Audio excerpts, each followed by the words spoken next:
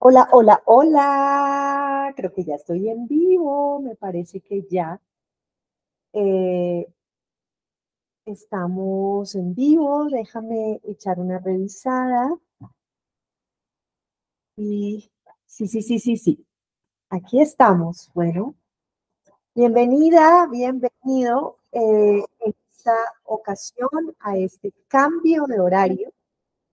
Vamos a ver eh, si este cambio de horario nos favorece más y entonces puede haber más gente en este momento en vivo, siguiendo esta emisión y este acompañamiento eh, de mi parte a este libro tan mm, relevante para quienes tengamos esta idea y al mismo tiempo diría yo que hasta una suerte de necesidad de ir saliendo de un estado de conciencia que nos mantiene, hay veces pequeños, nos mantiene víctimas, nos mantiene en una perspectiva estrecha de la vida y lograr lo que este libro dice, eh, un despertar al propósito de su vida, que no solamente tendrá que ver con nosotros mismos, sino que podemos llegar a impactar a la comunidad de la que hacemos parte. Así que Bienvenida, bienvenido a este espacio de lectura compartida, de lectura entre todos. Yo hago el proceso de lectura en voz alta. Déjate leer también. Permítete que eh, otra persona te lea y eso te va a recordar hasta los momentos de la infancia, eh, cuando una voz femenina, por lo general, la madre, la abuela, una cuidadora, eh, nos leía, nos leía con voces y nos leía de un modo que nos hacía sentir también que la lectura era un espacio de protección y de bienestar. Si es tu primera vez en el programa, no te afanes que yo hago siempre una pequeñísima, eh, digamos que contextualización para que sepas en qué estás. Mm, y permíteme, voy a pasarme un momentico por acá por YouTube para saludar, a ver si encuentro gente que conozco. Bueno, aquí eh, está Mariana, muy bella. Hola, eh, Simón, gracias por estar conectado también en este momento. Bueno, veo una linda amiga aquí también, Caro Santana, me alegra tenerte eh, en este momento y que esta hora de pronto funcione mucho más. Y para quienes se vayan conectando en la medida en que vaya eh, ocurriendo el programa, súper bienvenidos. Y a ti, que te encuentres con este video, eh, yo pienso hay veces años después, 15, eh, 10 años después, cuando de pronto ya no estemos específicamente hablando de este tema, pero para ti sea la primera vez que te llega, porque eso suele suceder. Eh, hay momentos donde los libros, mm, por más de que estén en ese instante siendo revisados por alguien o incluso estén en boga, no me llegan todavía y está bien. Pueden pasar muchos años o siglos incluso para que un libro nos hable. Eh, sin embargo, siéntete también súper, ultra, archi bienvenido. Bueno, decirte mm, muy rápidamente que este programa tiene varias formas en las cuales eh, tú puedes estar aquí presente. Una de ellas es esta, escucharlo. Vamos a ver si continuamos cada miércoles o si luego vuelve a su horario de domingo. Estamos es, revisando cuál es el horario en donde pudiéramos estar más personas en vivo, con el ánimo de que comprendamos que una lectura, cuando es nutrida por la voz de varias personas, independientemente de que sea una la que lo promueve o una la que hace la mediación con el libro, pues el libro empieza a crecer en relación a todo lo que tiene para decirnos. Empieza como a engordar estos sentidos y a poder nosotros encontrar muchas más formas de entrada cuando en ocasiones estos libros no los sentimos tan cercanos sin embargo nos llaman la atención. La otra forma es que tú puedes hacer parte de una membresía mensual que tiene un valor de 15 dólares o si estás en Colombia de 60 mil pesos. Es algo muy económico que para ti puede no hacer la diferencia, pero para nosotros sí es importante porque ayudas a un proyecto que tiene que ver con cómo contribuir a que las personas sensibles, a la, que las personas con em, una serie de inquietudes existenciales puedan hallar sosiego y, ¿por qué no?, respuestas o algunas preguntas ya que, que los empiecen como a organizar en su propia búsqueda a través de las artes, la literatura y las competencias de comunicación, que es lo que trabajamos en Ananda Tienda Taller, un espacio físico que está en Villa de Leiva, Colombia. Y bueno, eh, estarías tú haciendo esa diferencia cuando estás en esta membresía. Te da acceso a un libro que se va, eh, te, lo voy actualizando mes tras mes, tiene que ver con una síntesis de los puntos más importantes, con una serie de preguntas de trabajo y otras reflexiones que hago allí para que los libros no sean solo una acumulación de información y ya, sino que eh, les permitamos hacer su trabajo real, que es una transformación que nos pueden provocar adentro. Y la otra es una tercera opción que si tú eres una persona que le gusta hacer donaciones, que le gusta apoyar cosas que le llamen la atención, pues puedes hacer una donación en la caja de descripción. Yo dejo siempre un link y tú puedes ingresar ahí y hacer la donación que eh, tú quieres. Recibimos desde eh, un dólar hasta un millón de dólares. Lo que te corresponda considerar a ti está perfecto para nosotros. Por supuesto es un chiste, pero también estamos absolutamente agradecidas, agradecidos de que estés aquí de la forma en la que tú estés y en la que quieras también contribuir a esto. Cuando estás aquí sentado o sentada acompañándome, yo te pido, ayúdame con el me gusta y suscríbete al canal, porque eso es lo que hace que se promueva este tipo de programas, que por cierto, ni siquiera son fáciles de, mm, promocionar con un tráfico pago, por ejemplo, porque lo que tratan parece ser que termina siendo un poco como em, desechado, no sé si es la, no creo que sea la palabra correcta, pero eh, termina siendo como un poco mm, detenido por el algoritmo y, no nos deja promover eh, pagamente este tipo de programas por el momento. Bien, mm, bueno, ya estando ahora sí eh, todo en orden, Vamos a hacer nuestro ejercicio de respiración, que no nos lo saltamos, que procuramos estar aquí completitas, completitos con nuestros dos hemisferios. Entonces, sepárate un poquito de la mesa si estás en una mesa o eh, siéntate en una posición cómoda o para en tu actividad un instante y ya regresamos a las lecturas propiamente dichas. Cierra tus ojos en lo posible no te recuestes en la silla para que tu columna eh, mantenga una posición alineada. Y vamos a inhalar por la nariz y exhalar por la boca, soltando el día, porque ya tenemos una jornada que está llegando a su fin. Así que inhala y exhala. Inhala y suelta el día Inhala. Suelta una vez más. Expectativas, sensaciones que no sean conectarte con este momento presente. Ahora vamos a inhalar y exhalar tres veces por la nariz.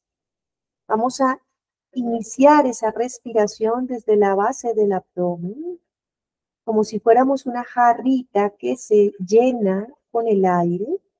Vas a iniciar desde la panza o desde el vientre y subes por toda la caja torácica hasta las clavículas. Luego en la exhalación que harás el procedimiento inverso, lo importante es que lleves el ombligo hacia las costillas y si te queda fácil, cierra el suelo pélvico para retener por lo menos un segundo el aire. Luego iniciamos otras dos respiraciones. Vamos. Inhala. Uno.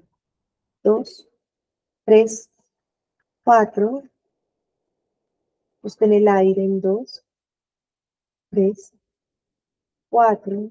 Exhala, cuatro, tres, dos, uno.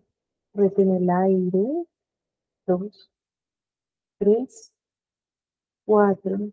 Inhala, uno, dos, tres, cuatro. Retén, dos, tres, cuatro. Exhala, nariz, cuatro, tres, dos, uno.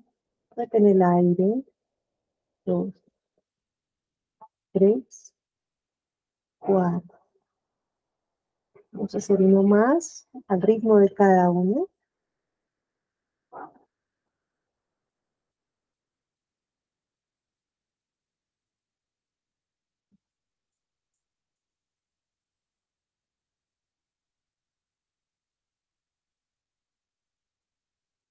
Muy bien. Seguramente el cansancio también para algunos de ustedes, si llegan a ver o a conectarse en este momento, se hace más evidente hacia la noche. Pero esta pausa nos puede dar también un momento de volver a recargar la energía. Vamos a volver inhalando una vez por la nariz y exhalando por la boca. Pon tu boca como una eh, como una vocalo, lo vas a decir sin decirla, o si fueras a soplar un pastel. Y así vamos a abrir los ojos al finalizar. Inhala.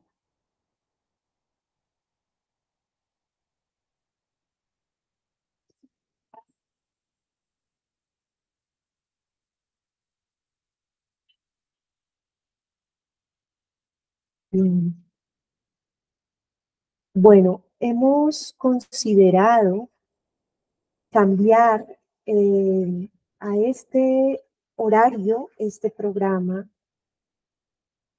para ver si es eh, posible que haya más personas que puedan conectarse y estar presentes, porque la energía también de una cofradía o una comunidad de lectores con intereses afines es bien interesante eh, por las preguntas que pueden generarse, por los comentarios que pueden quedar allí y cómo, como te decía hace un rato, enriquece eh, a buena parte de las personas que encuentren después el programa.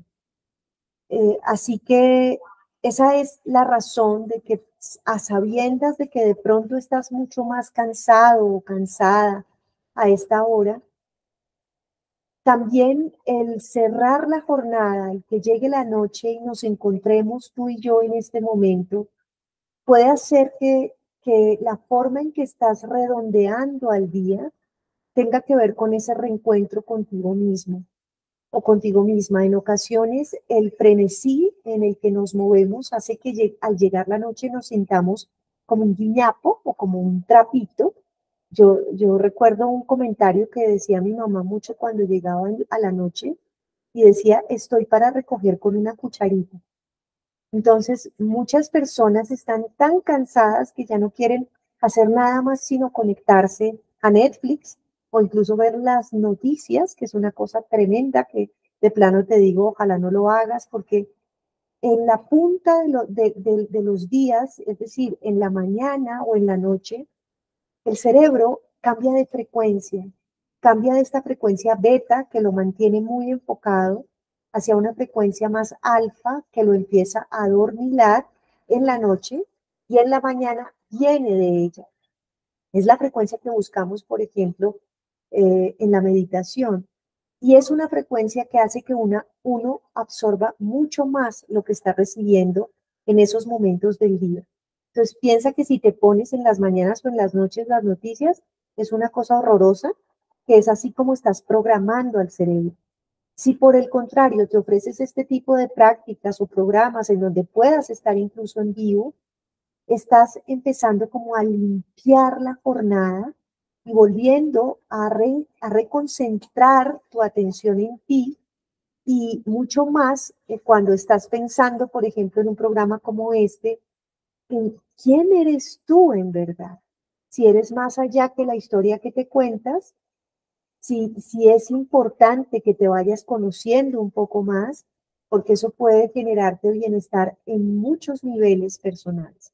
Entonces vamos a ver si la noche nos permite también eso y tú puedes terminar aquí eh, tu jornada, aquí en compañía eh, y acompañándome, que te agradezco desde ya que hagas eso. Bueno, vamos a hacer el pedacito de lectura que corresponde antes de entrar. Ya me pasé por aquí a, YouTube. A mí me toca estarme pasando de ventanita en ventanita porque yo emito desde mí eh, y si me, desconecto de mí, como ahorita no hay alguien que me acompañe, entonces se me cae a veces la llamada. Eh, por eso es que me, me vengo y me salgo. Mariana nos dice, gracias nuevamente por este programa. Para mí en este horario tengo mucho más receptividad. Me ilusiona la noche que siga después de esta lectura. Sí, vamos a ver qué, puede generar. Igual también sabemos que para mucha gente, pues estos programas los ves en diferido, incluso los parte, a veces no los ve todos de corrido. Pero es muy bonito lo que les digo, la unión siempre de personas, independientemente de cómo se da alrededor de, una causa común es, muy, es muy relevante, es muy energético, podríamos decir, porque la energía de todos se junta.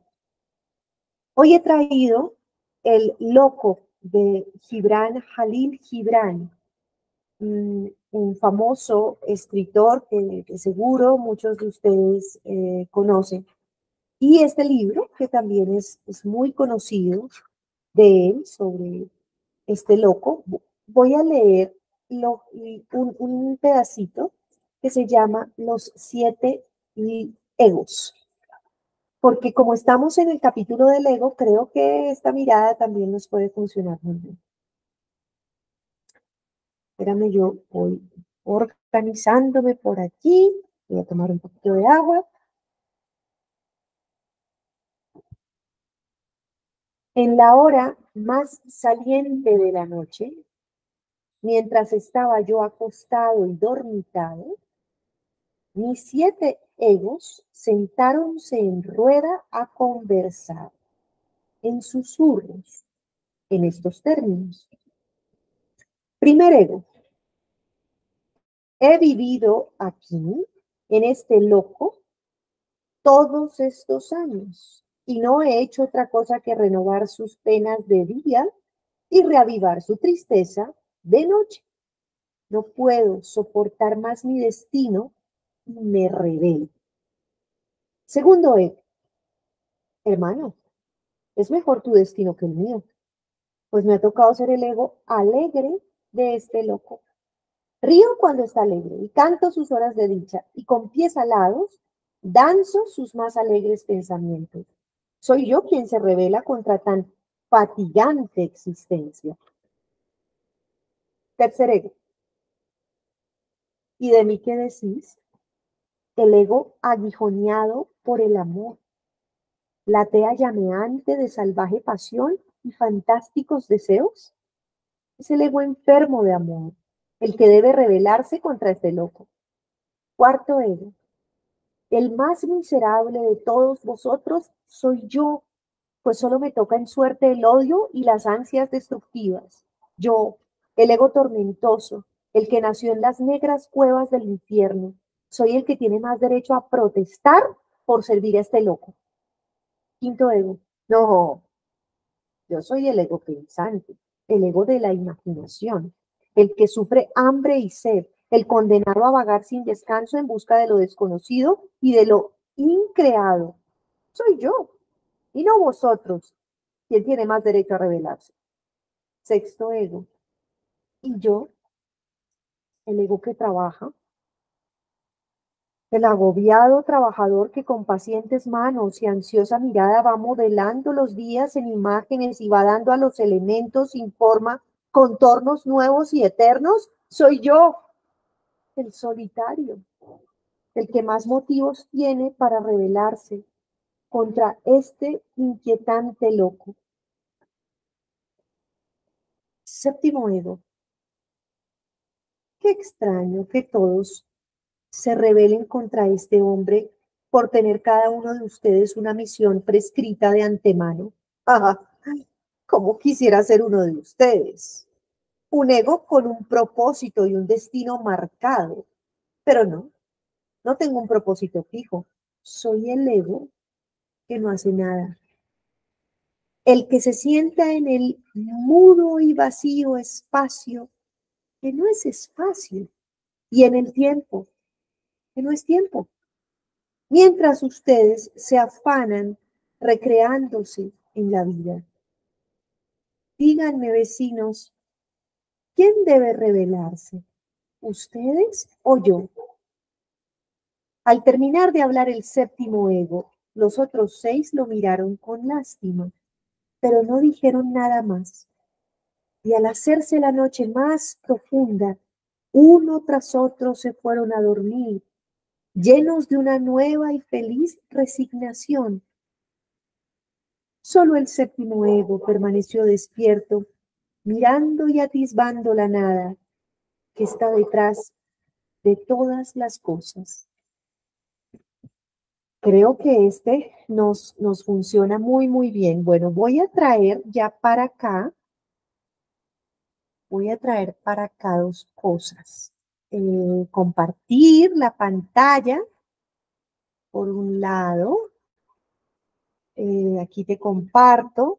Bueno, al compartir te dejo de notar si estás viendo o no, entonces déjame yo miro por otro lado a ver si eh, desde el celular me doy cuenta, sí, ya te estoy mostrando, perfecto. Ya ahí se está mostrando. Y ahora voy a hacer algo más intrépido, que es quitarme esto. Espero que no se altere el, que ya, ya no nos saque, no nos saque este, ay, perdóname, perdóname, no puedo hacer ese cambio intempestivo. Tengo que mantenerme aquí. Lo que no quiero es que te vaya a generar ningún ruido por allá. Creo que no hay ruidos feos. Mm, por favor, si quieres, dime si te, te salen ruidos desagradables y yo vuelvo a conectar esto. Lo que pasa es que no lo puedo desconectar porque si me, llega a sonar el Meet, eh, entonces se nos caería la llamada. Pero creo que lo vamos a lograr. Por eso te digo que estoy de intrépida esta noche también porque no hay tanto ruido a este lado. Antes de meterle o hincarle el diente a la reactividad y los agravios, recordemos un poquito lo que nos había dicho en em, el capítulo pasado, lo que nos comentó en el capítulo pasado. Mm, ay, porfis, díganme que escuchan bien, ¿sí? Que si me, me impresiona, si no pueden escuchar bien y yo aquí ya dándole Voy a, dar un segundo a ver si alguno de ustedes me dice si se oye todo bien. Perfecto.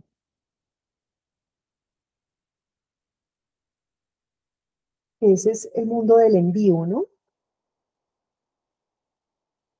Bueno, que entiendo que para ustedes es un poquito más, eh, se, se retrasa lo que yo estoy diciendo. Ah, perfecto, gracias Mariana. Listo. Bueno, entonces ya me puedo ahí como, como desatender eso. Vamos a recordar eh, lo que leímos la semana pasada. En este libro, si, tú hasta ahora estás llegando aquí, no conoces el libro, nunca lo has leído, a ver, yo te cuento un poquito. Eh, lo que nos está ayudando en este libro, Tolé, es a que como humanidad empecemos a llevar luz a nuestras zonas oscuras y que, que esa luz nos ayude a tomar o a llegar a un nivel de conciencia mayor, dado que según eh, Tolé estamos en un punto de la humanidad que puede no tener vuelta atrás porque hemos terminado por amenazar la vida en el planeta. Así que él considera que es súper urgente que como humanidad crezca y se desarrolle la conciencia y muchas personas alcancemos un nivel de despertar. Este libro fue escrito en 2005, entonces piensa que ya serían 19 eh, años, ¿cierto? 19 años, mm, sí, porque estamos en el 24, el otro año cumpliría los 20, en donde él viene dándole, y no solo él, sino otros autores también, estas alarmas a la humanidad de ojo con cómo nos estamos comportando con el planeta. Entonces, lo que viene diciéndonos es qué aspectos tienen que ver con la iluminación, cómo se puede entender esta palabra, y ahora en el capítulo 2 y 3 empieza a hacernos entender qué es lo que pasa cuando nosotros no estamos realmente presentes y nos mantenemos en el mundo del ego, ¿no? Lo que puede generar este estar muy conectados con el ego. Por lo general, rápidamente podríamos decir que el egoísmo del ego es el que ha hecho que perdamos de vista que el planeta es para todos, que como comunidad o familia humana, entre todos nos necesitamos y estamos casi en la obligación de ayudarnos unos a otros en la medida en que empezamos a entender un poquito más esto de cómo se hace una vida en la que no nos dañemos a nosotros mismos ni dañemos al planeta. Entonces, la sesión anterior, él había empezado a hablar del ego y de cómo podemos empezar a descubrir si estamos siendo comandados por el ego y no por una em, un observador o una observadora que tiene más que ver con el estado de conciencia, con em, el estado de despertar a una posible verdad, no me gusta la palabra que estoy eligiendo ahí, verdad, mm, ponla si quieres entre comillas porque hay muchas verdades, pero hay una que puede ser la más posible eh, y es una en la que yo creo, no sé si tú crees, y está bien si no lo haces, y es que todos somos uno. Uno dividido en mil pedacitos. Por ejemplo, allá en Conversaciones con Dios, que fue el libro que leímos antes, hay una imagen muy bonita que yo sinteticé de lo que nos decía Dios a través de Neil Donald Walsh. Él estuvo muy feliz un día, estaba tan feliz que decidió partirse en pedacitos para volver a experimentarse, entre otras, porque al ser una conciencia única, no podía saber qué era ser el mismo. Y al dividirse, curiosamente pudo tener como todas las apreciaciones y las modificaciones de los muchos rostros de Dios. Entre otros, entre otras, perdón, porque lo que nos fue revelado en ese libro es que tú y yo también somos pedacitos de esa conciencia gigantesca que puede ser la primera sustancia informe del mundo, que en la medida en que se piensa o se pone a soñar, van surgiendo las diferentes entidades o las diferentes personalidades de Dios. Así que algunas se llaman Paola, Pedro, Juan, Mónica, Mariana, eh, Simón, pero realmente somos como gotitas, como, como, sí, somos una gotita, pero todos somos el océano. Em, no sé tú en dónde vayas y si esto que te acabo de decir te parece loquísimo. Yo ya voy en la aceptación de esa que puede ser una gran verdad, eh, pero también está bien si tú vas en otro lugar. Así que el ego, lo que él nos decía, tiene que ver con la identificación que tenemos con ese yo que consideramos es lo que restringe el universo en donde nos sentimos nosotros. Es decir, lo que tú consideras es tu historia personal, que en un libro anterior, Tolé decía circunstancia vital. En, la, en el poder de la hora, él le llamaba a lo que nosotros decimos, esta es mi vida, él decía, realmente esa es tu circunstancia vital. La vida es mucho más allá que los hechos que te están sucediendo. En otras palabras, tú no eres tus circunstancias vitales. Tú no eres tu pensamiento, tú ni siquiera eres tu cuerpo. Tú tienes un cuerpo, tienes unos pensamientos y tienes unas situaciones vitales que resolver. Pero cuando creas esa identificación y consideras que la voz que tienes en tu mente, esa que siempre está como un radio encendido, eres tú, ahí es cuando está comandando el barco o el carro el ego. Y eh, ya nos vino señalando que eh, actitudes como querer tener la razón, como etiquetar todo, como hablar mal de los demás, tiene que ver con una noción de considerar, considerarme separado de los demás y por lo general eso le corresponde al ego. Perdón. Eh, así que para él, cuando nosotros estamos, voy a llamarlo en modo ser, porque él no lo denomina así, sino más como en un estado de conciencia, pero cuando estamos en modo ser, estamos de forma muy equilibrada, ecuánime y sin tendencias a considerar que lo que yo pienso es eh, único, es em, separado del mundo, o sea, nadie, nadie debería ni siquiera pensar como yo. Voy a ponerle esta palabra como original. Y hay otro autor, un autor francés mm, muy importante que en este momento se me olvida el nombre de ese filósofo, se me escapa. Em, bueno, ya, ya vendrá, que eh, señalaba que hay un síndrome que empezó desde el siglo XX que se llama la hiperindividualización, donde todos queremos ser tan diferentísimos al otro y tener cosas pero tan diametralmente opuestas al otro, que en esa hiperindividualización lo que se hace es que se agranda el ego, porque el ego es el que se siente separado de todo y por ende separado del planeta, por eso no lo cuida, por eso siente que el planeta es suyo, que la tierra es suya y que puede estar consumiendo sin parar. Mientras que esta, este nivel de conciencia sabe que la tierra también es un préstamo y la cuida porque hace, él es uno también con la tierra. No es, y, es, un, es, es un huésped de la tierra. Bueno, eso es como grosso modo algo que te puedo traer de ese momento. Estamos metidos en el capítulo 3. Yo en esta ocasión le puse un, em, una pregunta a este momento y la pregunta, eh, déjame verla aquí, la pregunta que le puse hoy tiene que ver con, eh, bueno, no puedo ver el título, no puedo ver el título de hoy, curiosamente.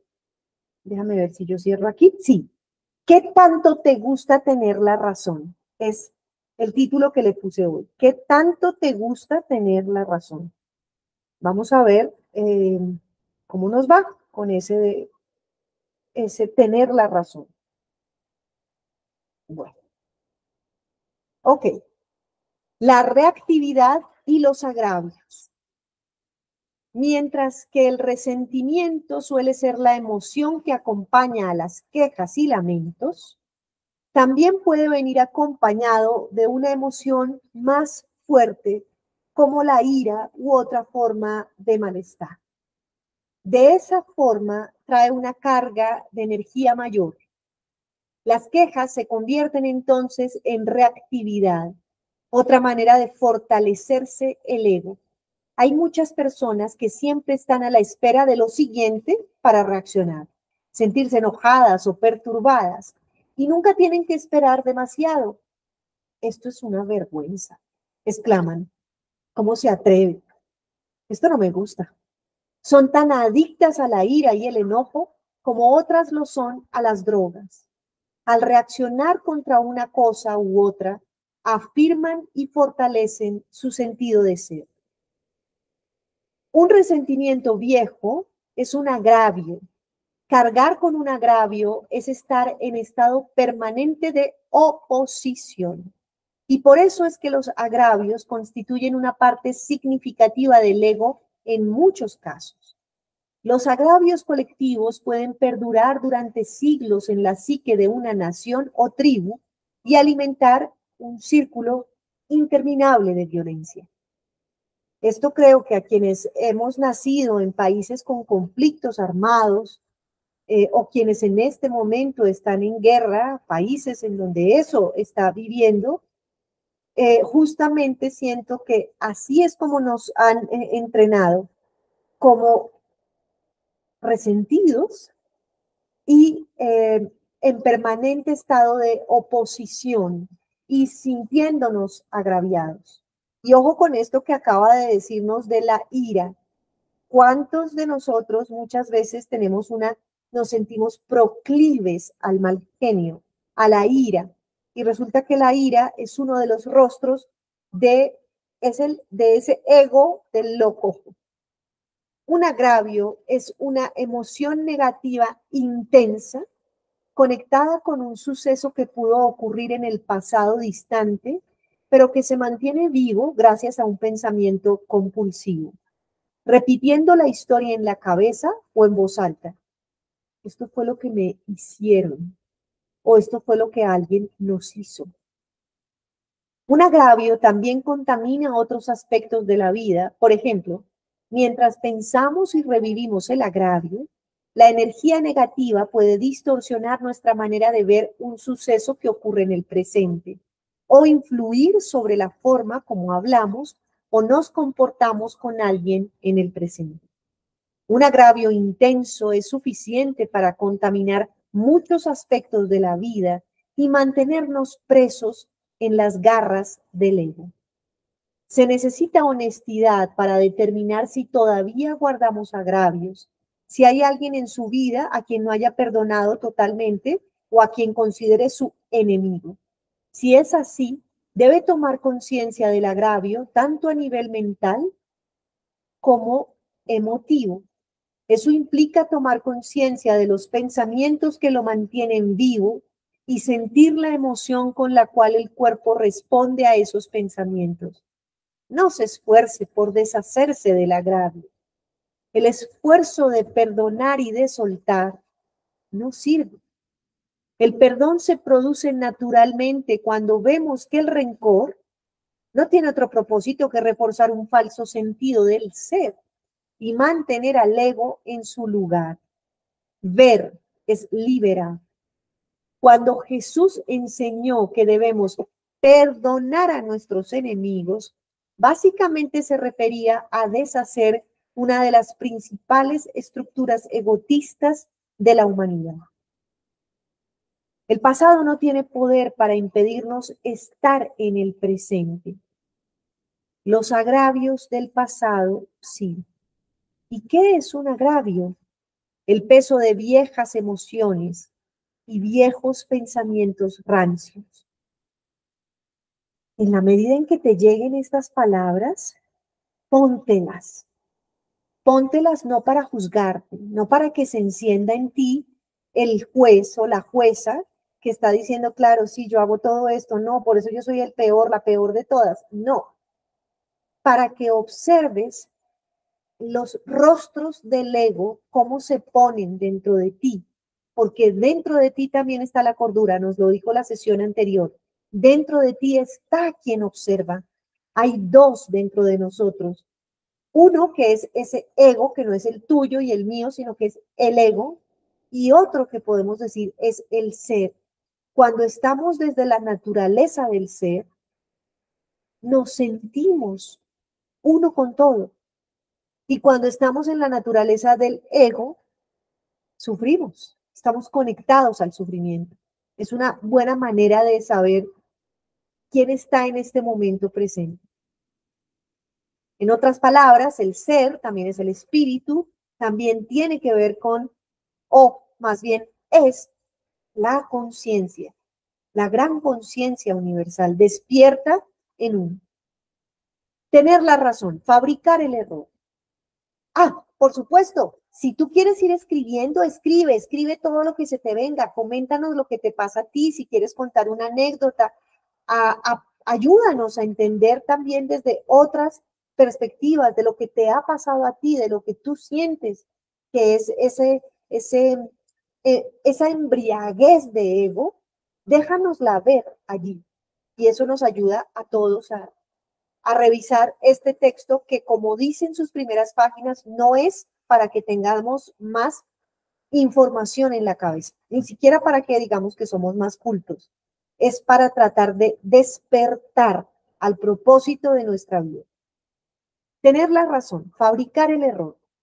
Cuando nos quejamos, encontramos faltas en los demás y reaccionamos. El ego fortalece la noción de los linderos y la separación de la cual depende su existencia. Pero también se fortalece de otra manera al sentirse superior. Quizás no sea fácil reconocer que nos sentimos superiores cuando nos quejamos, por ejemplo, de una congestión de tráfico, de los políticos, de la codicia de los ricos o de los desempleados perezosos o de los colegas o del ex esposo o la ex esposa. La razón es la siguiente. Cuando nos quejamos, la noción implícita es que tenemos la razón, mientras que la persona o la situación motivo de la queja o de la reacción está en el error. No hay nada que fortalezca más al ego que tener la razón. Tener la razón es identificarse con una posición mental, un punto de vista, una opinión, un juicio o una historia. Claro está que para tener la razón es necesario que alguien más esté en el error. De tal manera que al ego le encanta fabricar errores para tener razón. En otras palabras, necesitamos que otros estén equivocados a fin de sentir fortalecido nuestro ser. Las quejas y la reactividad para las cuales esto no tendría por qué estar sucediendo, pueden dar lugar al error no solamente en otras personas, sino también en las situaciones. Cuando tenemos la razón, nos ubicamos en una posición imaginada de superioridad moral con respecto a la persona o la situación a la cual juzgamos y a la cual encontramos en falta esa sensación de superioridad en la que el ego ansía y la que le sirve para engrandecerse. Piensa en cuántas veces has querido, hemos querido tener la razón. ¿Cómo actúas cuando quieres tener la razón? ¿Qué hace tu cuerpo, por ejemplo? ¿Cómo lo usas? ¿Qué hace tu voz? ¿Qué emociones empiezan a aparecer dentro del cuerpo?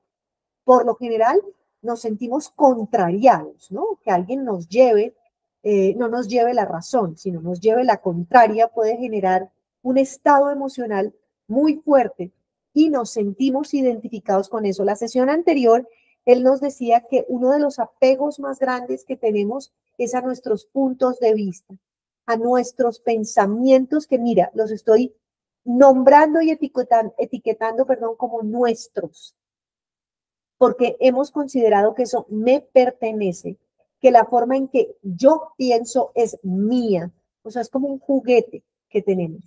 Es más, nos costaría trabajo a cada uno de nosotros, en ocasiones lo intento, pero estar retirando el pronombre yo para hablar de las cosas y este eh, me, mi, este artículo posesivo también, estarlo retirando sobre em, estas enunciaciones nuestras que lo que hacen es ir refrendando la sensación de que esta soy yo, esta es mi manera de ser. Soy a través de un yo. Esa es una trampa de ley. Bueno, déjame miro por acá para yo no quedarme separada de ti y saber si por acá tú estás eh, charlando. Ay, dame un segundo, se me perdió, te me perdiste. Ya voy, ya voy, ya voy. Eh, Lipovetsky, sí, gracias, gracias, Simon. Lipovetsky, Gilles Lipovetsky era el autor francés que quería señalarles, el de la hiperindividualización, que lo trabajé mucho tiempo y muchos años en las universidades.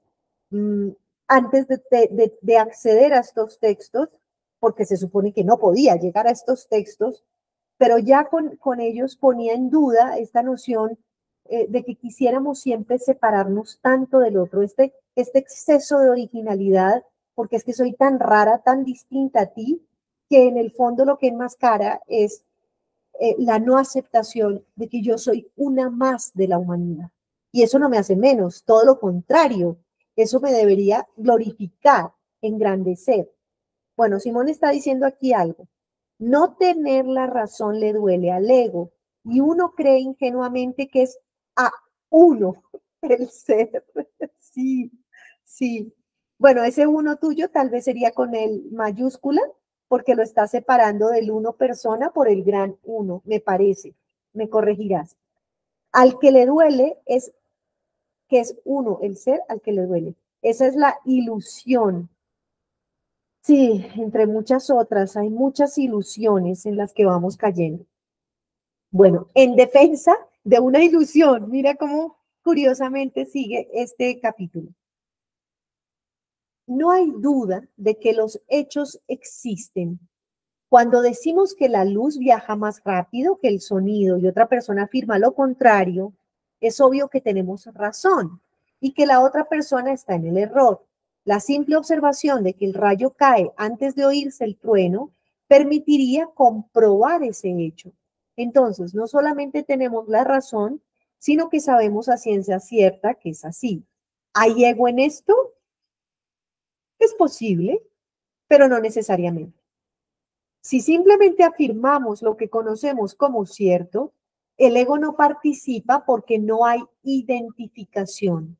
¿Identificación con qué? Con la mente y con una posición mental. Sin embargo, esa identificación puede colarse fácilmente. Si nos oímos decir cosas como, créame, yo sé, o porque nunca me creen, es porque el ego ha entrado a participar. Se oculta detrás de la sílaba me. Una frase tan sencilla como que la luz viaja más rápido que el sonido, aunque es cierta, termina al servicio de la ilusión del ego se ha contaminado con el falso sentido del yo, se ha personalizado y se ha convertido en una posición mental. El yo se siente disminuido u ofendido porque alguien no cree en lo que dijo. El ego se toma todo a pecho y hace que se desaten las emociones. Se pone a la defensiva y hasta puede incurrir en agresiones. ¿Estamos defendiendo la verdad? No, porque la verdad no necesita defensa, ni a la luz ni al sonido les interesa lo que nosotros u otras personas piensen. Nos defendemos a nosotros mismos o más bien defendemos la ilusión de lo que creemos ser, el sustituto fabricado por la mente. Sería más exacto decir que la ilusión se defiende a sí misma.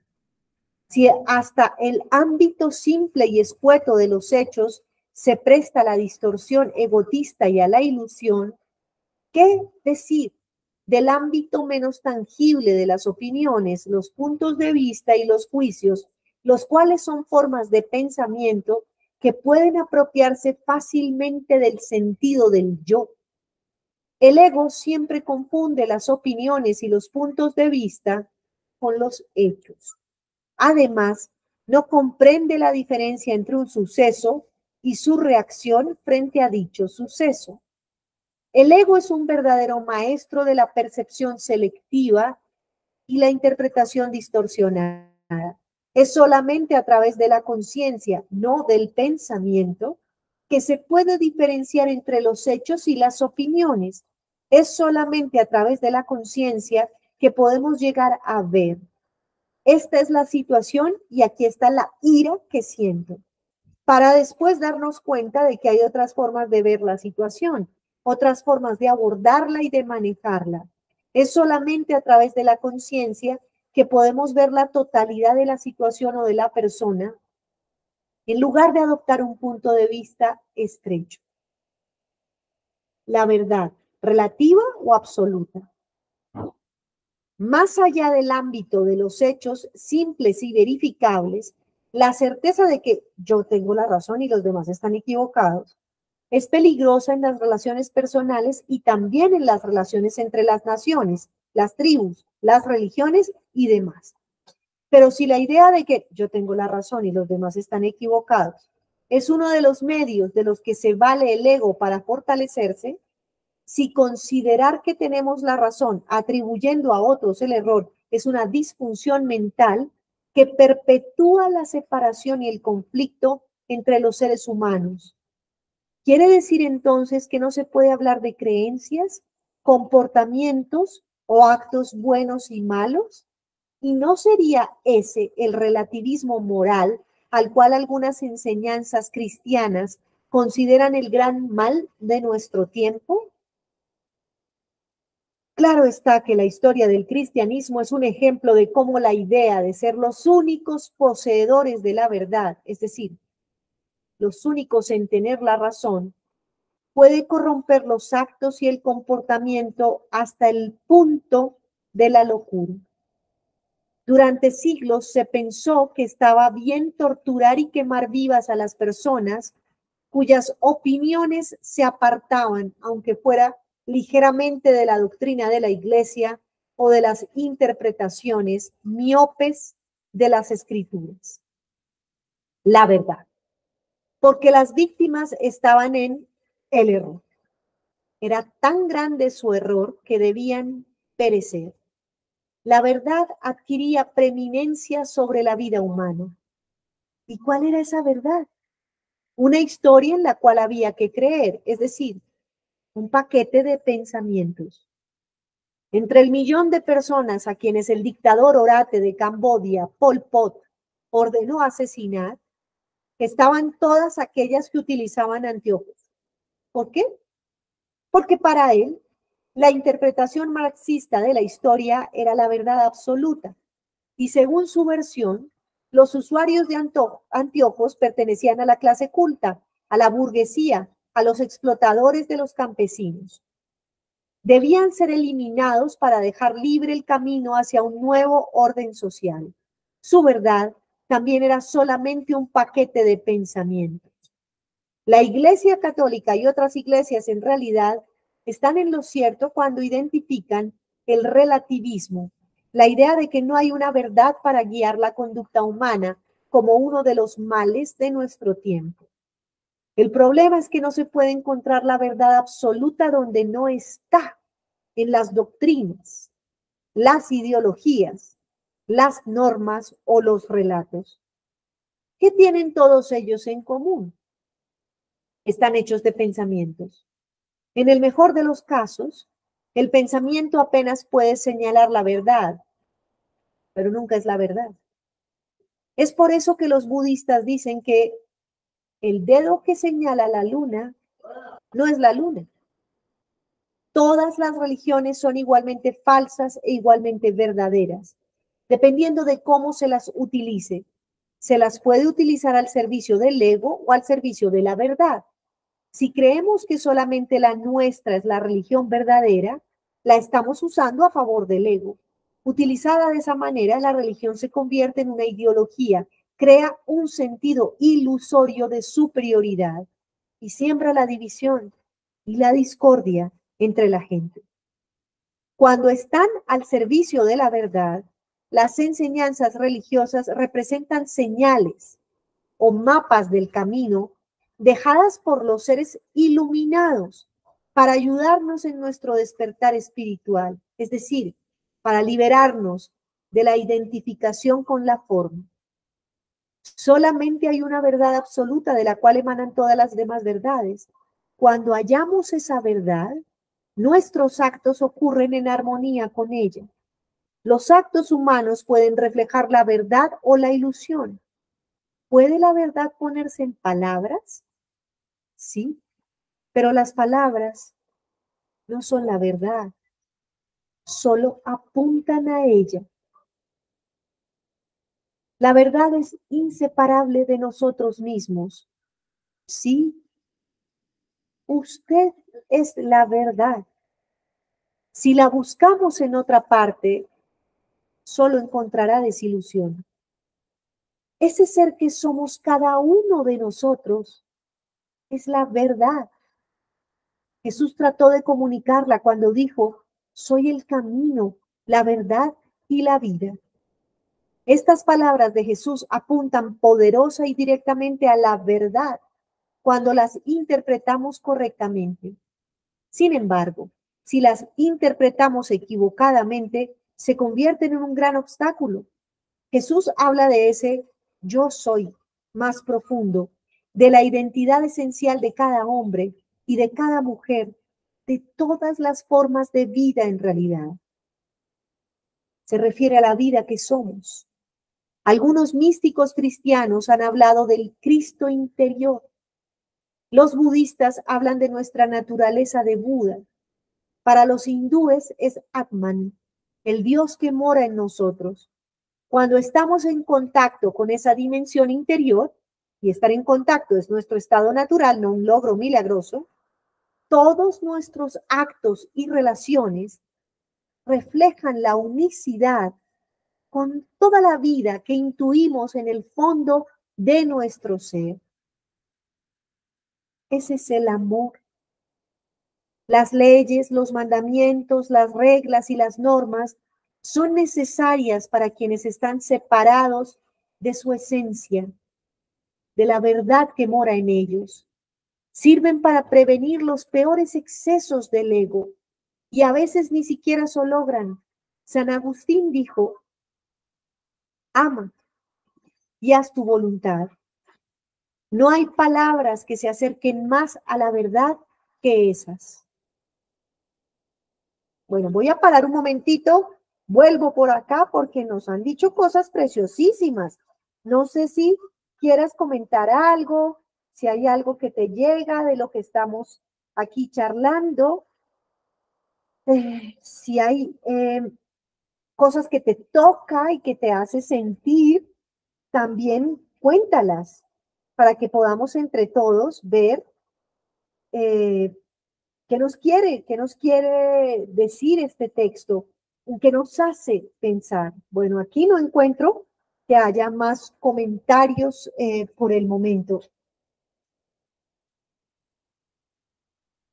Bueno, yo tengo, tengo más, pero voy a seguir entonces dándote eh, más lectura o dándonos más lectura, por supuesto, pero pues es que mi, mi, trabajo aquí es como ser puente entre esto que nos están diciendo, mm, muy cortito lo que querría decirte es, ¿qué sientes cuando escuchas estas palabras? ¿Cómo te sientes? Cuando uno está en este camino empezando a recorrerlo, muchas veces lo que le genera es ira, molestia, sensación de no puedo más con esto. Y tiene que ver con que hay mucha, mucha mucha, mucha densidad del ego, está muy pesado el ego. Pero el ego es el que debe empezar como a difuminarse, a, a restar peso, a volverse más ligero, porque en esa medida en que se desdibuja esta conexión del ego entendida, como que me creo mucho el cuentico de quién soy yo, entonces, esa falta de densidad es la que va permitiendo que tomemos más conciencia. Ojo, esto no tiene que ver con no querernos, no tiene que ver nunca con no amarnos, todo lo contrario. Este tipo de textos nos abren hacia el amor incondicional que no conocemos. Casi todos nosotros conocemos el amor condicionado, nos amamos entre nosotros y a nosotros sí y solo si tengo esto o esto o esto. Por ejemplo, yo puedo decir, yo voy a amarme o estaré muy feliz de mí o muy orgullosa de mí si tengo Sopoto 400 mil seguidores en YouTube. Cuando los tenga, entonces yo voy realmente a sentirme que estoy haciendo un buen trabajo y me admiraré tanto que me amaré. Pon esto hacia otros lugares.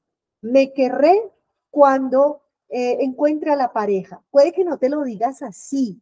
Yo lo estoy volviendo más histriónico para que sea más evidente para nosotros.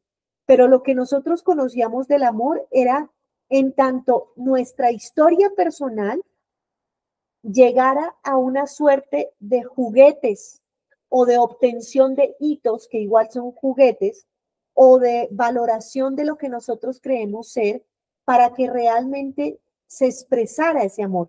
Nos lo enseñaron nuestros papás también, cuando nos decían, eh, niña, que te estás portando bien, niño, que vas bien, así sí me gusta. Eso es, eso es lo que hace un niño cuando es educado, en fin. Nos fueron señalando condicionamientos, pero esto nos hace pensar en un amor incondicional porque todos venimos de la fuente, todos venimos de, de una misma naturaleza primigenia que es sagrada además. Y eso sagrado hace que sintamos amor incondicional. Entonces nos estás enseñando a amar. Por otra parte, puede ser cuando yo te pregunto cómo te sientes, que empieces a sentir algo en tu corazón o adentro que te hace percibir independientemente de si entiendes o no, te hace percibir que son textos, este u otros que, que trabajan este tipo de, de reflexiones, son textos que te están diciendo una verdad. Y esa verdad no te lastima, sino todo lo contrario, te hace ver las cosas de otra manera, es decir, te lleva luz, te da luz, te ayuda en ese proceso de despertar. Eh, decirte que en mi caso, mucho de lo que voy sintiendo, mucho de esto me lo siento que aquí en el pecho, ah, como si me diera aire, como si me, insuflara vida, es lo que siento que me pasa con estos textos. Aquí Simón está diciendo algo. Neville Goddard, otro personaje interesantísimo que hemos leído, Jesús dice, Jesús dijo, yo soy la verdad, señalando su pecho con sus manos, pero no dijo, yo Jesús soy la verdad. Mi yo interior es el camino. Bueno, aquí decirte gracias, eso está muy bien. Seguramente es, es, que cuando nosotros hablamos de nosotros, sí, nos ponemos las manos en el corazón, pero como un centro, no como el yo, eh, sí, entiendo perfecto lo que estás diciendo ahí. Eh, ay, te quería decir otra cosa a raíz de esto que estás diciendo, sí. Si escuchas que estos textos hablan de Jesús, hablan de Dios, hablan de Buda, y nos, hay veces nos citan a la Biblia y algunos de los comentarios que escuchas también hablan de Jesús, quiero decirte que es muy probable que muchos de nosotros al principio por cómo se nos vendieron las religiones, que muchas veces fueron obligadas, heredadas, sin mayor reflexión. Y como decía uno de mis maestros, don Miguel de Unamuno, la fe que no se duda no es fe. Como, como fue una cosa impuesta, muchos de nosotros tenemos rayes. Es decir, nos molesta, nos hace ruido, nos, nos llega a fastidiar incluso el solo hecho de que nos pongan la palabra Dios porque sentimos que nos están haciendo una venta de algo y que eso va a tener que carnetizarse uno hacia una, un lugar en particular. Y yo no quiero faltarle respeto a nadie que siga este programa y tenga algún tipo de filosofía o de práctica religiosa que en este momento haga. Quiero decirte es a ti que si te hace ruido porque tú sientes que estás peleado con la religión, por ejemplo, esto no tiene nada que ver específicamente con la religión, pero sí con la espiritualidad entendida como algo que nos compete a todos, que nos atañe como, como humanidad porque tiene que ver con ese algo que todos presentimos está más allá de la existencia. Yo creería que incluso siendo agnósticos y sintiendo aquí ya no hay nada, eh, no queda nada más y esto es todo, hay un libro fantástico de don Miguel de Unamuno que se llama em, San Miguel Bueno Mártir. Es un pequeño cuentito y ese cuento es fantástico. Si tú crees, es que yo no creo en nada, léete San Miguel Bueno Mártir y, verás hasta las formas simpáticas en que esa fuerza universal, ese principio eterno, esa presencia que nunca es ausencia, termina hablándonos a nosotros mismos. Entonces, que note que este tipo de, palabras, que son rótulos, que son nombres, no permitas que, que te hagan tomar posición y decir, ay, no hay nada de razón. Puede que no estés de acuerdo, pero aquí hay elementos que te están eh, llevando hacia ti eh, aspectos de, de verdad, de una verdad más alta que nosotros no de mi verdad, no de la verdad de Eckhart Tolle, sino de una verdad que mira cómo la ponen aquí, con V mayúscula. Bueno, sigamos. Vamos en, en un siguiente envión a ver qué nos dice.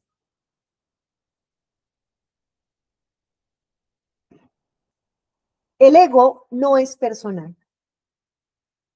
A nivel colectivo, la idea de que tenemos la razón y los otros están equivocados está arraigada profundamente, en particular en aquellas zonas del mundo donde el conflicto entre las naciones, las razas, las tribus, las religiones o las ideologías viene desde tiempo atrás, es extremo y endémico.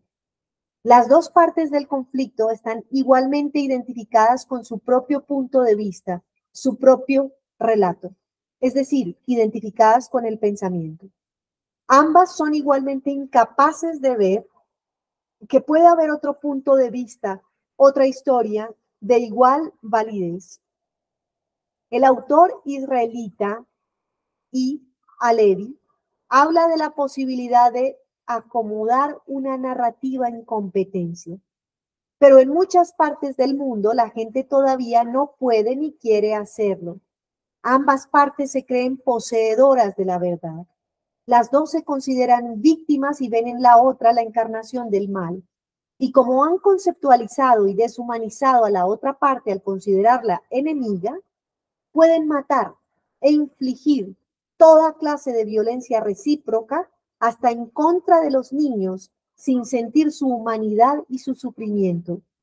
Quedan atrapadas en una espiral de mente de acción y reacción, castigo y retaliación.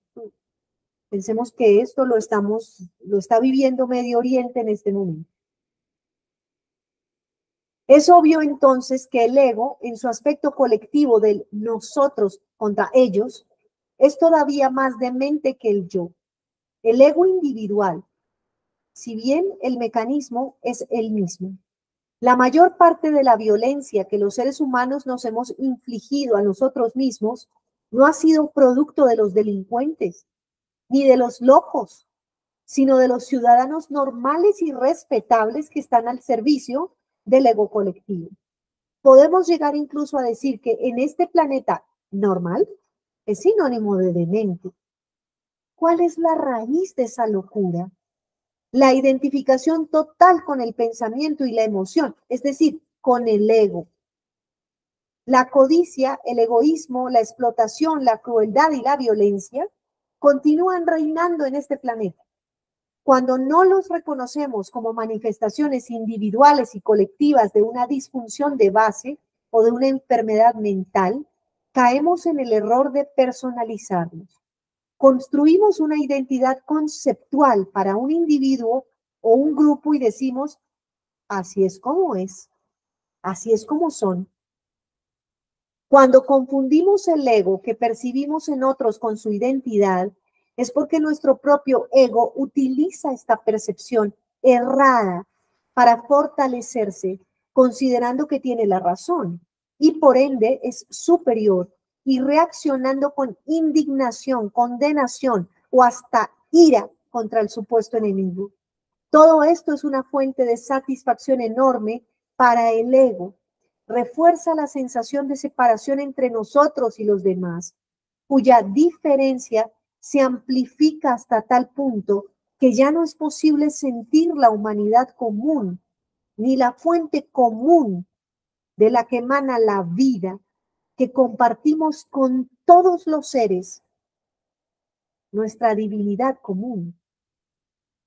Los patrones egotistas de los demás contra los cuales reaccionamos con mayor intensidad y los cuales confundimos con su identidad, tienden a ser los mismos patrones nuestros, pero que somos incapaces de detectar o de velar en nosotros. En ese sentido, es mucho lo que podemos aprender de nuestros enemigos, ¿Qué es lo que hay en ellos que más nos molesta y nos enoja? ¿Su egoísmo? ¿Su codicia? ¿Su necesidad de tener el poder y el control? ¿Su deshonestidad? ¿Su propensión a la violencia? ¿O cualquier otra cosa? Todo aquello que resentimos y rechazamos en otra persona está también en nosotros. Pero no es más que una forma de ego y como tal es completamente impersonal. No tiene nada que ver con la otra persona, ni tampoco con lo que somos. Es solamente si lo confundimos con lo que somos que su observación puede amenazar nuestro sentido del ser. En este punto yo, yo pienso mucho, no sé si todos, yo sé que este programa lo están viendo en, en cuatro países, por lo menos eso es lo que me dice la, eh, el, la plataforma, que, que, hay gente que lo ha visto en México, en España, en Argentina y en Colombia. No sé si ya habrá otros lugares, pero pienso mucho en, en nosotros los colombianos, que nos enseñaron una historia oficial y una historia que no es eh, un secreto, ha sido muy compleja y que curiosamente en vez de estarnos desidentificando de esa historia, entre los mismos colombianos hay una especie de detestar al colombiano porque es hijo de esa historia, sin siquiera ponerse a pensar que no necesariamente está detentando el tipo de comportamientos y conductas que se le adjudican a los colombianos per se. Por ejemplo, si sales del país te van a decir que eres narcotraficante, que si eres em, corrupto y eso no es cierto, ese rótulo no lo tenemos todos. Curiosamente, lo que sucede es que en las redes sociales vemos una serie de, de lenguaje del odio y lenguaje del resentimiento que se mantiene aún muy fuerte en una comunidad como la colombiana. Ni qué decir, por supuesto, de los países que en este momento están en guerra, cómo se eh, detestan entre sí, sin entrar a pensar que hay gente que no tiene nada que ver con esos rótulos, sino que hace parte, empezando porque todos lo somos, pero que hace parte de esta divinidad compartida. O sea, no alcanzamos a vernos en nuestra divinidad, o como lo dijo en, la sesión anterior, él decía, en nuestra cordura. Dentro de toda esa locura que, presentamos como humanidad, hay un estado de cordura que comanda el ser. Y él eh, decía, trata de ver la cordura que habita en el otro, trata de ver el ser es lo que nos señalaba. Déjame ver si hay más gente aquí que cuenten, cuenten ustedes también qué piensan. No, no me dejen sola, hablando sola eh, con, con lo que yo creo, por lo que yo creo, o sea, el pequeño yo, porque sirve mucho también lo que tú estás pensando como ser, como ser eh, consciente también de esto que te está llegando. Voy a ver si alguien comentó algo. Mm, ok, me encanta tener aquí a Consuelo Espinas, una señora que admiro, que me encanta toda ella y su familia. Y te agradezco por estar aquí en este momento escuchándonos. Y Claudia, qué gusto también tenerte en este momento. Qué buena frase, la raíz de esa locura. Sí, Ok, bueno, sigan dejando ahí lo que ustedes piensan que les va diciendo este texto, lo que crean que nos pone a reflexionar. Voy a meterme con este, em, con este pedacito que está aquí, final. La guerra es una forma de pensar y, perdón, les hago otro comentario aquí. Pensemos que en este momento en el planeta Tierra hay dos guerras. Qué curioso, que, no sé, que este tipo de discurso no, no esté presente también en esos lugares o que si lo está lo acallen, porque curiosamente sabemos, mm, pararía mucho esta horda de, locura de, hacia la guerra. Se me ocurre que que es como si a la humanidad, una parte de la humanidad muy afincada en esta conciencia egoica, no le funcionara que despertáramos, porque se van a, se, van a caer toda esta serie de estamentos y, de instituciones que se han creado desde el, desde el odio, desde el miedo y no desde el amor. La guerra es una forma de pensar. En ciertos casos, quizás sea necesario protegerse o proteger a alguien más contra el ataque de otro.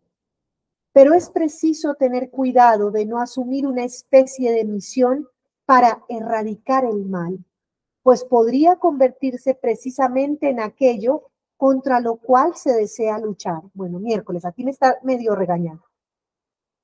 La lucha contra la inconsciencia puede llevar a la inconsciencia misma. Jamás será posible vencer la inconsciencia el comportamiento egotista disfuncional mediante el ataque. Aunque lográramos vencer a nuestro oponente, la inconsciencia se habrá alojado en nosotros o el oponente reaparecerá con otro disfraz. Todo aquello contra lo cual luchamos se fortalece y aquello contra lo cual nos resistimos persiste.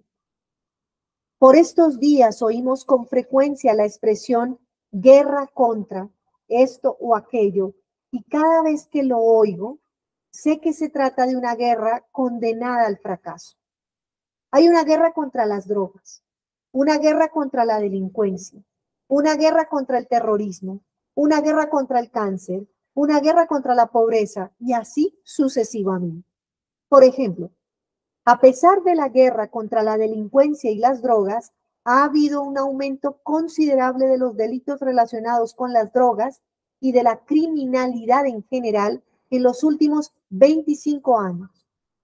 La población carcelaria de los Estados Unidos ha pasado de menos de 300 mil en 1980 a la cifra aterradora de 2.1 millones en 2004. La guerra contra las enfermedades nos ha dejado, entre otras cosas, los antibióticos. En un principio tuvieron un éxito espectacular y al, parecer habían llegado para ayudarnos a vencer en la guerra contra las enfermedades infecciosas. Ahora muchos expertos coinciden en que el uso generalizado e indiscriminado de los antibióticos ha creado una bomba de tiempo y que las cepas bacterianas resistentes, las superbacterias, provocarán sin lugar a duda un resurgimiento de esas enfermedades posiblemente epidémico. Según la revista de la Asociación Médica Americana, el tratamiento médico es la tercera causa de muerte después de la enfermedad cardiovascular y el cáncer en los Estados Unidos. La homeopatía y la medicina china son dos ejemplos de posibles alternativas de tratamiento que no ven a las enfermedades como el enemigo y por consiguiente no crean nuevas enfermedades. La guerra es una forma de pensar y todos los actos derivados de esa mentalidad tienden o bien a fortalecer al enemigo, la supuesta maldad, o, en el caso de ganar la guerra, a crear enemigos nuevos, males nuevos, generalmente iguales o peores al que fue derrotado. Hay una conexión profunda entre el estado de la conciencia y la realidad externa. Cuando caemos en las garras de una forma de pensar, como la de la guerra, nuestras percepciones se tornan extremadamente selectivas y distorsionadas. En otras palabras, vemos solamente lo que deseamos ver y lo interpretamos equivocadamente. Es fácil imaginar la clase de actos emanados de un sistema tan demente. Claro que en lugar de imaginar, basta con ver las noticias de la noche. Debemos reconocer al ego por lo que es, una disfunción colectiva, la demencia de la mente humana. Cuando logramos reconocerlo por lo que es, ya no lo vemos como la identidad de la otra persona. Una vez que reconocemos al ego por lo que es, es mucho más fácil no reaccionar contra él. Dejamos de tomar sus ataques como algo personal. Ya no nos quejamos, ni acusamos, ni buscamos la falta en los demás. Nadie está equivocado. Es solo cuestión del ego que mora en los demás. Comenzamos a sentir compasión cuando reconocemos que todos sufrimos de la misma enfermedad de la mente, la cual es más grave en unas personas que en otras.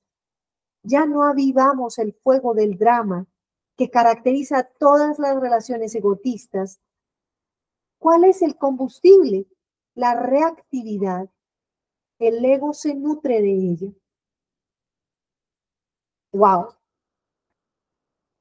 Piensa en esto que nos acaba de decir. Es una, es una definición de la compasión muy, muy fácil de poner en práctica si lo pensamos. Si entiendo que el otro, que al mismo tiempo soy yo, pero que el otro tiene una enfermedad que también tengo yo, que es el ego, no tendría por qué estarle poniendo etiquetas a cómo es, a cómo me parece, para distanciarme de él. Podría es empezar a sentir compasión. Ojo que la compasión no tiene nada que ver con el pesar, que el pesar es, es de una vibración muy baja y muy triste. La compasión viene del amor, viene de sentir al otro como mi igual. Bien, vamos, vamos a ver cuánto nos falta o si dejamos ahí Déjame ver, déjame ver, déjame ver.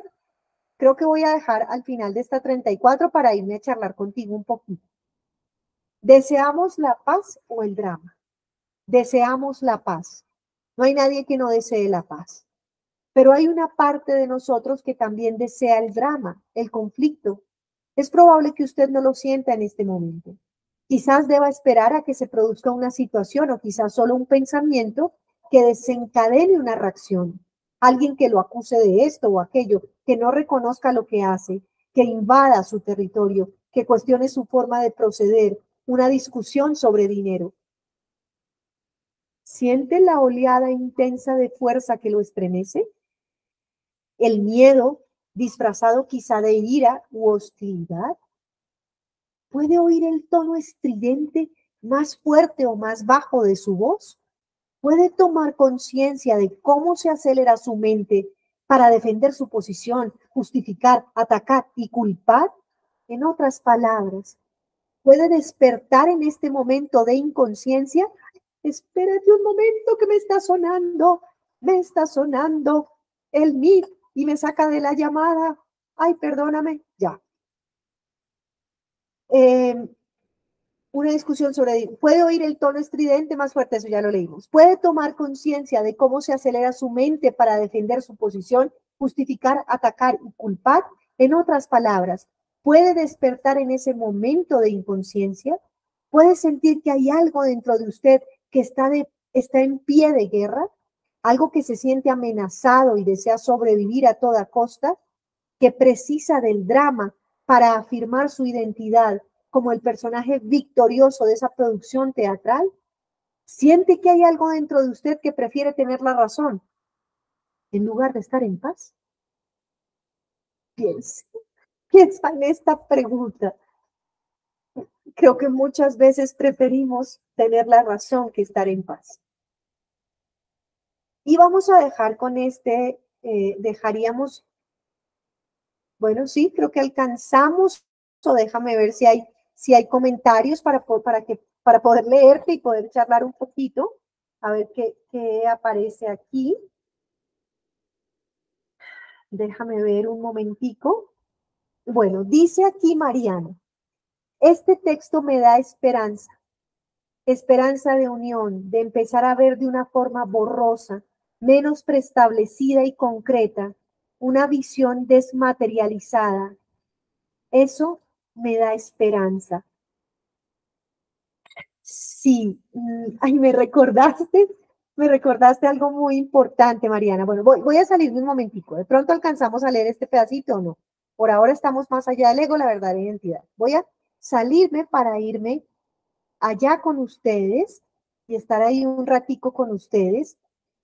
Me han recordado lo siguiente. Hay un programa, por si quieren verlo también ustedes, que hizo, eh, me parece que como en el 2005 también, o en el 2011, no sé muy bien, eh, te debo la fecha, que hizo Eckhart Tolle con Oprah Winfrey. Y es que este texto lo leyeron y está en español, incluso lo pueden buscar en el canal Eckhart Tolle en español, o voy a ver si se los dejo enlazado también aquí y son una serie de charlas que hizo él con Oprah y en el mundo entero estaban conectados por Skype y le iban haciendo preguntas a Eckhart. Y en una de esas alguien le preguntó, mm, en un país además de Medio Oriente, le dijo que cómo hacía eh, para hacerle entender al otro lo importante de este libro eh, o que se sentía muy ofuscado porque eh, otra persona realmente no iba a poner en práctica estas cosas. a raíz de lo que me dices aquí o que nos comentas, perdón Mariana, me haces recordar algo que dijo Eckhart Tolle y es porque tú dices me da esperanza. Es decir, te da esperanza, si te estoy entendiendo bien, con que los demás de pronto o el mundo puede empezar a despertar. Pero lo que él decía es, mira, lo único que te tiene que importar a ti es lo que tú vas a hacer con este texto. Lo que hagan los demás no tiene por qué importarte. La pregunta siempre es, ¿qué voy a hacer yo con esta información? No, no qué va a hacer el mundo. Te entiendo porque parte de que yo esté aquí sentada y compartiéndolo con las, la, mayor posibilidad de gente que, pueda esto eh, recorrer, tiene que ver con que creo que estos temas los necesitamos muchos en el universo. Pero lo que nos hace ver Eckhart Tolle es, ¿y tú qué haces con esto? O sea, cuando él nos dice estas cosas, ¿qué hacemos nosotros? Que no te pase como me pasaba a mí eh, cuando daba unas clases de comunicación hace algunos años atrás, y entonces yo explicaba algo como la cortesía comunicativa, que es un tema que trabaja la pragmática del discurso. Y cuando la comentaba, pues primero eso se hacía al final, porque nadie quiere que le digan que es descortés y no se cree descortés. Cuando conocíamos las técnicas, las personas decían, ay, no, carambas, no sé hacer esto, bla, bla, bla. Iban, iban señalando, voy a empezar a hacer esto. Cuando salíamos a tomar onces, la, gran mayoría de ellos eran jefes de, de equipos de trabajo eh, muy grandes, manejaban muchas personas en eh, multinacionales donde trabajaban y cuando cogían el teléfono empezaban a hacer todo lo contrario de lo que acabábamos de aprender.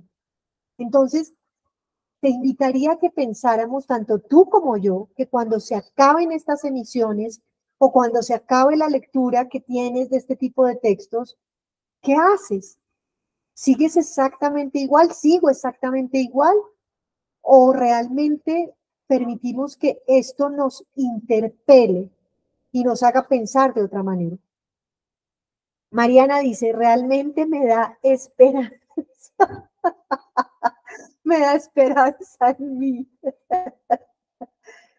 claro que sí, eres perfecta. Acordémonos de eso que también nos dice, somos perfectos.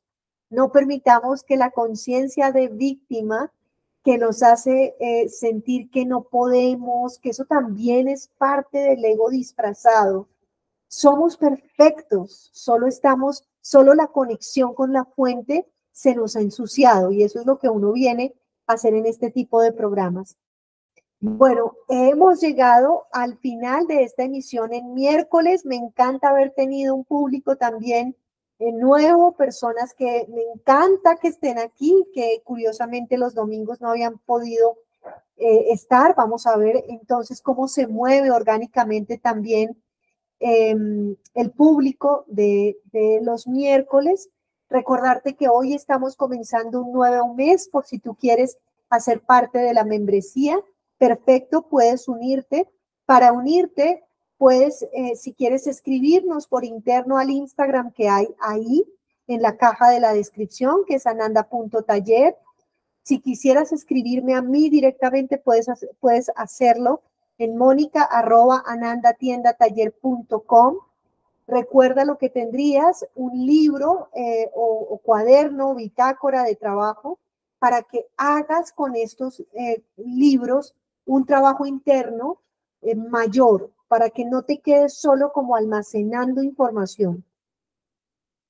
Mm, tendrías acceso también al libro anterior de eh, Conversaciones con Dios, el que preparé con las preguntas, y tendrías acceso a una comunidad que estoy creando para que gente con intereses afines no nos soltemos y todo lo contrario vayamos apoyándonos unas a otras o unos con otros para seguir despertando entre todos, porque nos vamos a ir cayendo, porque vamos a ir volviendo a caer en el ego. Mira esto que nos decía el loco, siete egos nos ponía ahí. De pronto uno no tiene siete egos, sino catorce o mil egos.